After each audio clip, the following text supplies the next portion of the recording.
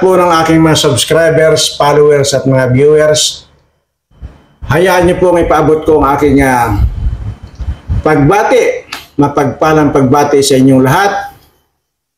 At ah, na sana manawari ay ah, ligtas kayo sa anumang uri ng kapahamakan.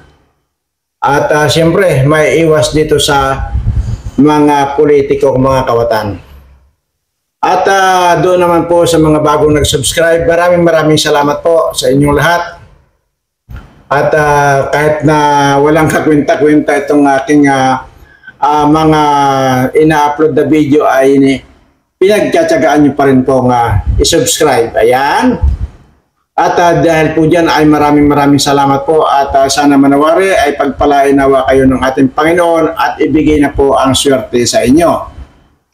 At dito naman po sa mga kawatang mga politiko, mamatay na kayong lahat dahil kayo ang pahirap dito sa bayan natin. Kaya dapat lamang na mapiste na kayo na para kayong mga manok at baboy. Ayan. Sana yung mga napisting mga baboy nung nakaraan, sa inyo na lang sana tumama ay di masaya ang buhay.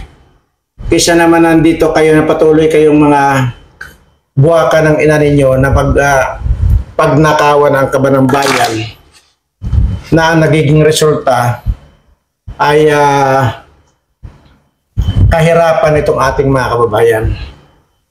Ngayon po, para po sa inyong kalaban mga ka- kababayan ko, ay ah, yung ating po mga kababayan sa Amerika ay nag-organisa ng ah, yung ah, maisog ah, meeting or maisog rally sa ah, Amerika nga po.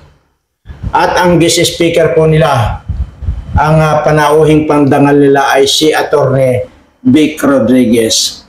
Ayan. Pero hindi pa rin na nagpat ano, hindi pa rin talaga nagpatalo itong mga kawatang mga politikong ito, lalo na itong si ah, Tambalos-los na ito. Imagine niyo para lang may manggulo. Ah, para lang may manggulo doon sa maisog rally or maisog meeting diyan sa Amerika na, inar, na inorganisa ng ating mga kababayan abroad. Ay ah, yun nga po. Ito ang nakakagigil, nakakagalit na parang kumbaga kung di, nandito lang sa harapan mo itong animal na ito, talagang ah, mababasag mong mukha eh. Imagine niyo mga kababayan, nagpadala rin ng ilan yun, 90, 90 na katao na para lang manggulo doon sa maisog meeting sa Amerika. See? Tingnan niyo ang kabalasubasan itong mga animal na ito. Diba? Kaninong pira, imagine, milyon ang gagastusin niya naman, ginastos, milyon na naman. Imagine mo, 90 persona ang pinadala. Dahil para lang manggulo. Talagang tarantado talaga ito. Wala na talagang ginawa itong matino itong mga hayop na ito. Imagine mo hanggang Amerika, talagang wala silang pakundangan kung gumastos ng pira ng bayan. Hindi naman ako maniniwala na pira nila yan para lang dadayo sila ron para lang manggulo at gagastos sila ng sariling, sarili nilang pira. No. Kahit nakalabaw, hindi ma hindi maniniwala sa inyo. So saan galing ang pira? Natural pira nating lahat. Pira ninyong lahat yan. Lalo na po itong mga taxpayer na kagaya ko.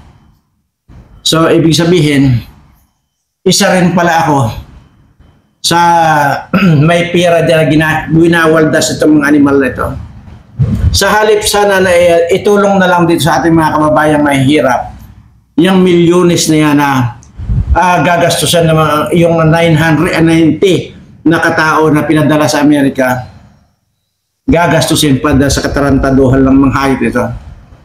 Ano bang mapapala ninyo sa ganun?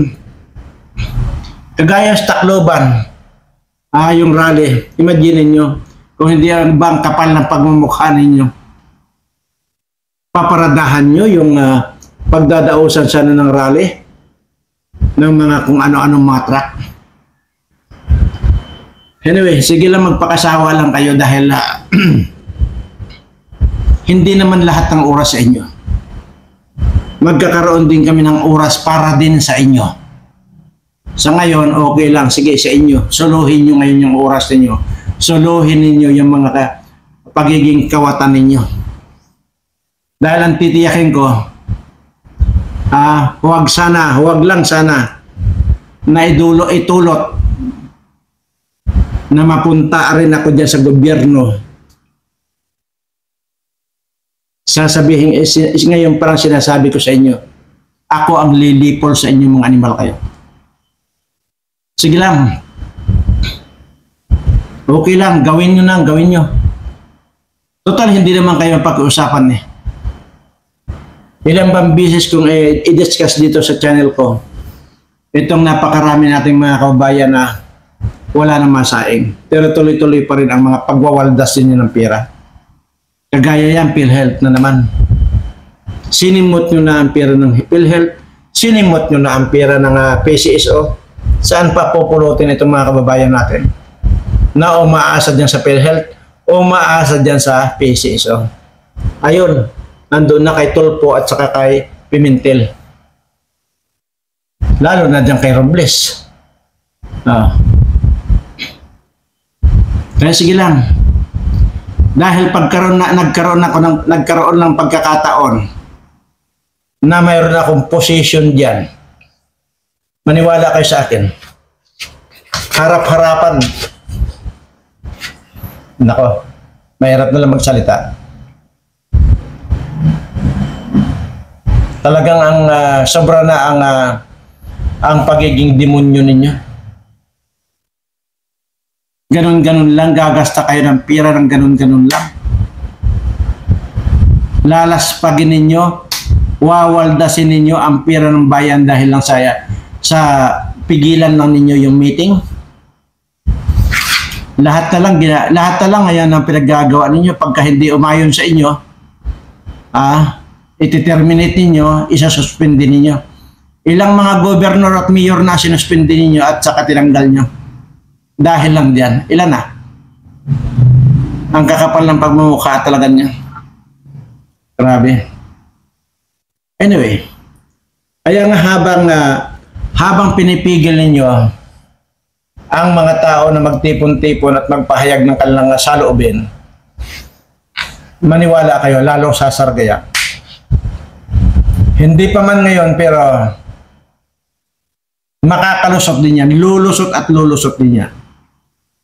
Baka nga pag nakalusot yan at inabutan kayo nitong mga taong bayan, gutay-gutay ang ah, kaluluwa ninyo. Maniwala kayo sa akin. Lalo na ako. Ultimong kaluluwa ninyo, dudurogin ko.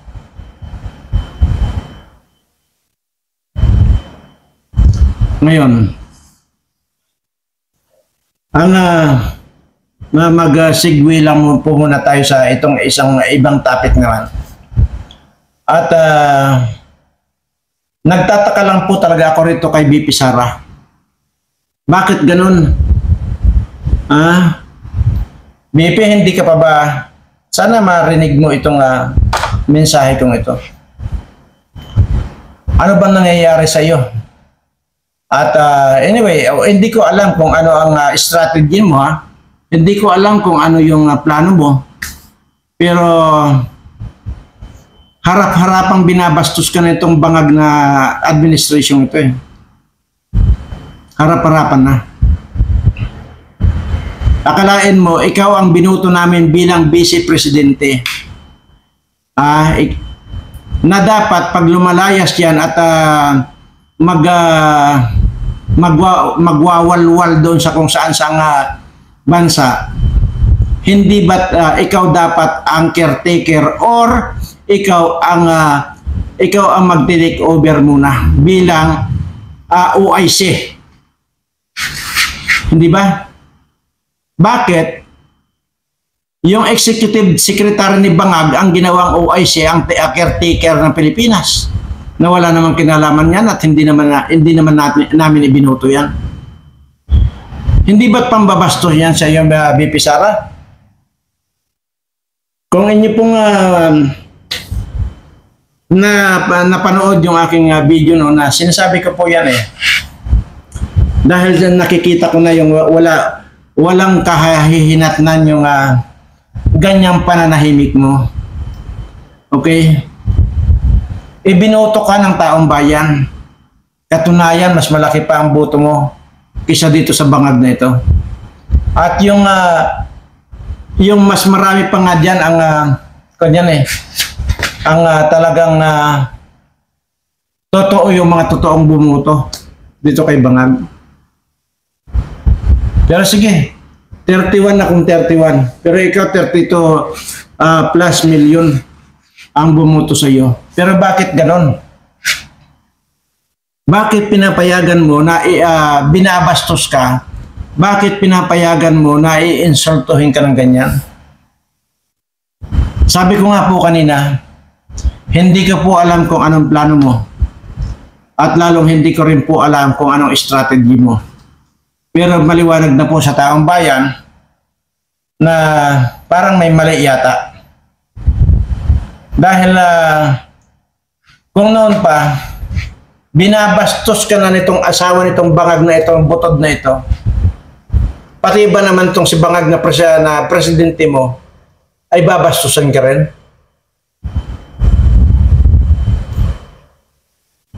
BP Sara, para masa para lang malaman mo. Walang mababago sa pagtingin namin sa iyo kung magwi-withdraw ka ng suporta dito sa bangag na ito. Maniwala ka. Ano bang ano bang ah, ah, rason para nananatili ka diyan na magiging ah, magiging ah, ah, tawag dito, tagasalo ng pang-iinsulto at pangbabastos itong bangag na ito. Kaya mo pa ba yun? Na, ah, natatanggap mo pa ba yung ganun pangbabastos sa iyo? Oo, na discretion ng isang ah, presidente kung sino ang ilalagay niyang uh, OIC dyan pag lumalayas. Pero, hindi nga tama na hindi naman ihinalal. Dapat yan automatic ikaw ang magiging caretaker kasi nga ikaw ang vice president. Sana, noong umpisa, ganun na ang ginawa, ginawa, okay lang sa amin eh, walang problema. Hindi ba't noong, noong umpisa ikaw ang ah, ginagawang ah, caretaker kasi ikaw ang vice president? Tapos ngayon, na bago, at yung executive secretary niya ang ginawang uh, caretaker. Sabi ko nga po, okay lang kung sa pool ganun ang ginawa eh. Walang, walang problema. Pero ano yun? Pinatikim ka lang? Ha? Tapos yan, babawin ka, parang, uh, parang sinubuan ka ng lollipop. Ha? Tapos yung uh, inganganga mo na yung bunganga mo para ako uh, yung, kin yung lollipop, saka ngayon na uh, binabawi. Di ba? Napakasakit sa bata. Yung ganun. Baka naman na uh, baka naman na uh, Vice President BP Sara baka naman magsawa sa iyo ang tao kapag kay ganyan ang uh, pananatilihin mo yung pagiging martyr mo dito sa bangag na ito. Baka naman na pagsawaan ka ng tao. Na wala kang uh, wala ka man lang reaction dito sa mga kanito ito. Ginagawa sa yung pang-iinsultong ito ano pa ba ang hinahabol mo dyan sa DepEd hindi na kailangan yan hayaan mo na yan ipaubaya mo na kay Bangag yan sa, sa totoo lang kaming mga supporters mo ang nasasaktan diyan sa pang-iinsulto ah, diyan sa pangbabastos sa iyo na itong bangag na ito.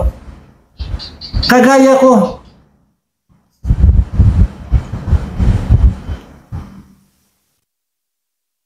Ako ang higit na nasasaktan. Kasa, uh, kasama ko itong mga ah, nagmamahal sa iyo. Pambabastos na eh.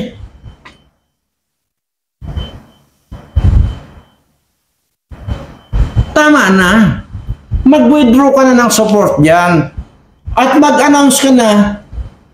At ah, ito pa ha, BP Sara. Yung sa mga pa- pasaring mo, mga pulbo-pulburon na yon, alam mo, konting kibot mo, ikaw ang binabantayan ng tao. Tingnan mo, nag-viral yung pulburon mo na yon. Kasi ikaw ang binabantayan ng tao. Baka hindi mo alam. Nakabantay kami. Kaya kami ang nasasaktan kapag ka nakikita namin yung pang-iinsulto, lalo nitong butod na ito, na hindi naman kagalang-galang yung butod na yun. Butod nga eh. Oh. Iinsultuhin ka ng isang butod, abogada ka. Oh, kung abogada man itong si butod na ito, ayan yung abogadang tanga. Ikaw naman yata, hindi ka naman tanga. Kaya mong ah, tiisin or kaya mong lunukin yung mga ganong uh, pagtatrato nila sa iyo. Ay kami, hindi namin kaya. Kaya nga po, ito, eh, nag nagkomento na ako. Doon sa, sa, yung sa mangga na yun, yung kumain ka ng mangga na may bagoong. Tapos yung mangga gamit. Ha? Yung mangga. Hindi ba talagang ah, lahat ng Pilipino nakakita nun? So, ibig sabihin, binabantayan ka. Ay ba, bakit ba hindi mo pa magawa ngayon dyan na eh, yung i-announce mo lang eh. Yung ipanawagan mo lang dito sa 30, wa- te- 32 million na butante mo na bumoto sa iyo. Mabilis pa sa alas 4, susugod sa EDSA yan. Kung ikaw na ang manawagan dyan. Napakasimple lang naman eh. Yung ka mag ah, mag ah, manifest ka lang. Gumawa ka lang ng mani- manifestation mo na hindi mo na kayang ah, ah, lunukin yung mga pinaggagawa nitong bangag administration ito. Kaya tayo mga kababayan, yung mga bumoto sa akin ng 32 million, sama-sama na tayo EDSA. Dapat ganun. Pero hindi ko sigurado yung kung ah, kung kung yun ha, kung ah, kung yun ay uh, may, may nilabag kang ba, may lalabagin kang batas doon. Pero palagay ko wala eh. Kaya iwanan mo na muna yung uh, uh, dip-ed, dip-ed na yan. Hayaan mo na yan. Ang importante dito yung maging presidente ka, hindi yung dip-ed. Kasi baka mamaya magsawa ang tao sa iyo nang ah, wala ka man lang kibo na samantalang kami rito ngayon, ang ah, grabe na nanggagalaiti na dahil nasasaktan kami sa tuwing nakikita namin yung pang-iinsulto sa iyo at pag pangbabastos sa iyo ng bangag administration ito. Yun lamang ang nakukan ko eh. Eh ito, sarili ko lang opinion. Sabi ko nga po, hindi ko po alam yung strategy niyo, strategy ninyo. At lalong hindi ko po alam yung plano ninyo. Pero ah na nakakapagsalita po ako ng ganito dahil nga base po dito sa obserbasyon ko. Maniwala ka sa akin kung ikaw mismo ang magdadeklara na dyan ng ah, lumabas na lahat ng mga Pilipino, lalabasan yan. Yun po yun. Isa naman magpa magpa-under ka na magpa-under dito kay butod na ito. Naku po, hindi naman dapat.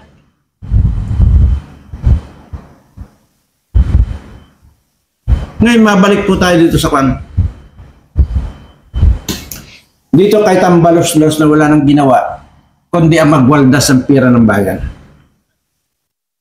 Kaya ito mga kababayan, sinasabi ko, ito yung walang puwang sa akin. Kapag ka ko ito, nag-cross ang landas namin ito hindi ko nabibigyan ng pagkakataon ito. Hindi hindi ko nabibigyan ng chance sa pamabuhay ito.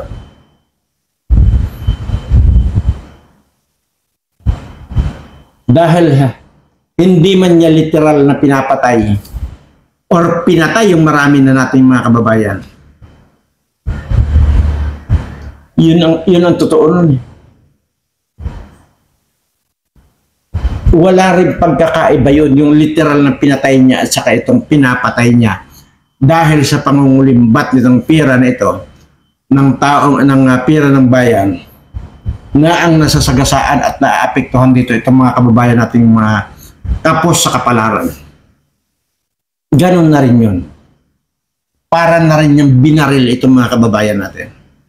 Kaya yung sinasabi ko, wala nang ah, wala na ako ibibigay na chance dito. O mabibigyan ko pa ng ah, second chance.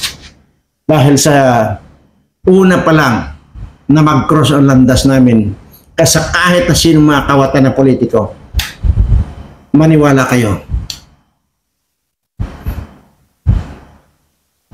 May babiyahe sa impyerno.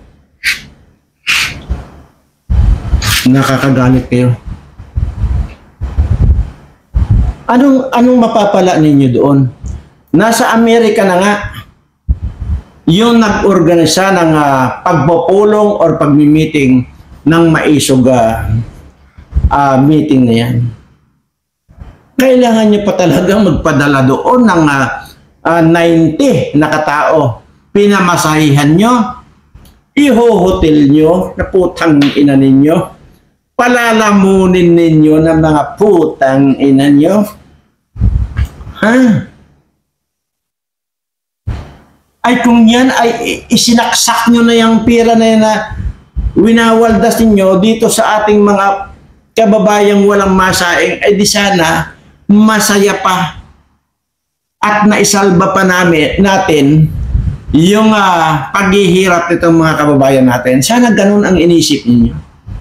Hindi yung ah, para lang guluhin ninyo yung ah, meeting ng maisog.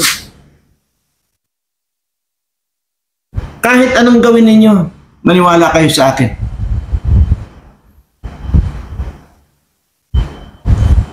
Magwawala at magwawala ang taong bayan. Kaya ang ah, ang resulta nito tayong tayong mga Pilipino ang magpupukpukan dito. Maniwala kayo. Nakikita ko na yung pwedeng mangyari. Alalahanin ninyo. Sabi nga nila, ang taong nagugutom, kahit kanyon yan, haharapin yan. Kahit ano pa ang i itutok nyo sa mga yan. So, sugurin kayo na.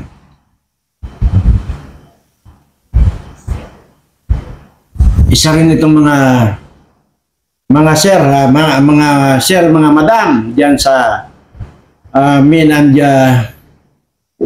uh, uh, men and uniform.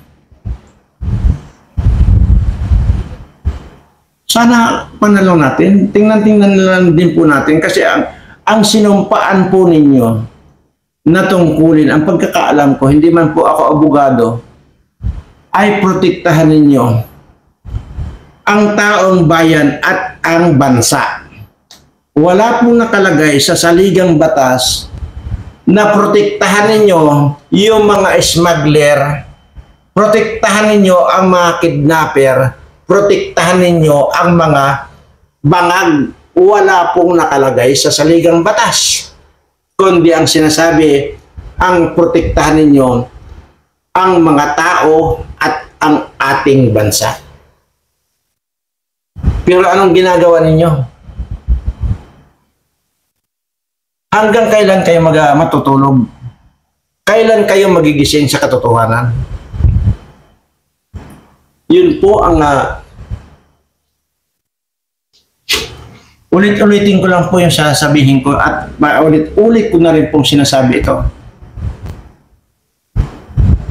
Na kung hindi man kayo ngayon ang apektado,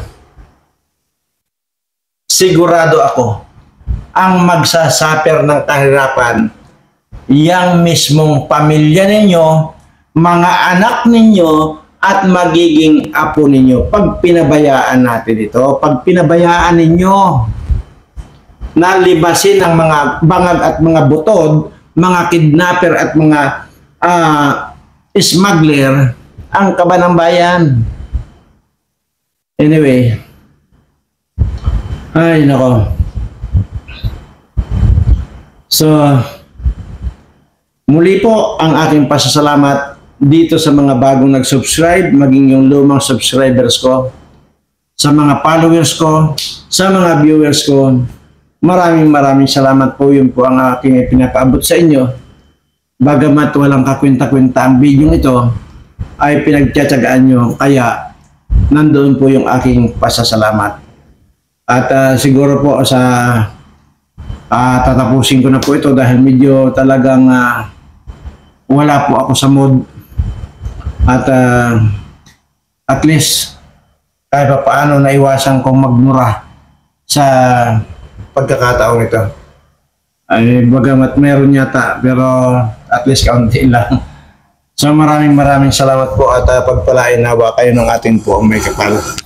Mahal na mahal ko po kayo.